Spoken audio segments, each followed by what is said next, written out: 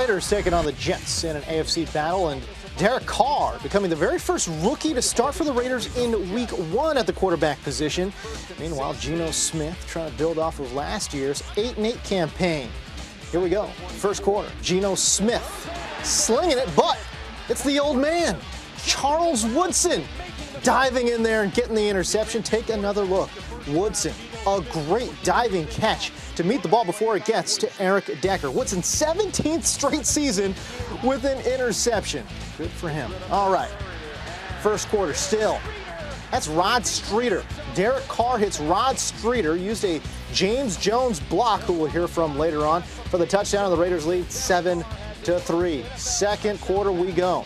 The ensuing Jets drive on second and goal from the three yard line. Michael Vick is in there in the slot, but Geno Smith keeps it, calls his own number. He keeps it, but he can't keep the ball. A fumble there, and the Raiders would jump on top of it. That would be TJ Carrie with the recovery, and the Raiders now have possession. The Jets were knocking on the door, but Oakland turns them away again.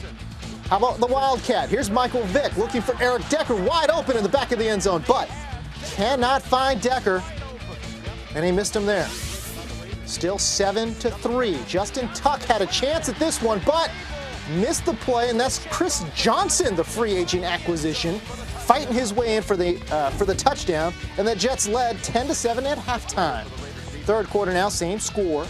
Geno Smith under pressure, sacked again. The ball stripped out again, but this time he he's able to fall on top of it. He recovers for a 12-yard loss. It lead to a Nick Folk field goal, and the Jets led 13 to 7. Fourth quarter now, same score. Geno under intense pressure yet again. This time it's a 19 yard loss. Tyvon Branch got to him.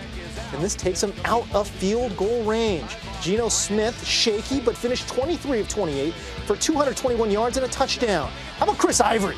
Chris Ivory. Look at him dash down the sideline, 71 yards to the house. A big time score for Chris Ivory. The two point conversion, no good. Jets led 19 to 7. Ivory 102 yards and that touchdown. Maurice Jones Drew, the free agent running back acquisition for Oakland, 12 yards and the first down for Oakland there. Three plays later, just 127 left to go in the game. No timeouts. Derek Carr throwing it down the sideline. Did he catch it?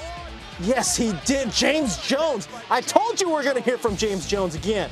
Watch the replay. Unbelievable. James Jones one hands it. And then look at the nifty footwork. Gets both feet in bounds for the touchdown. Raiders would trail 19 to 14. Just a minute 21 left to go in the game. So, onside kick on the way. Can they get there? No, they can't. Greg Salas recovers for the Jets, and the Jets go on to win 19 to 14. Derek Carr, super solid, 20 of 32, 151 yards, and two touchdowns.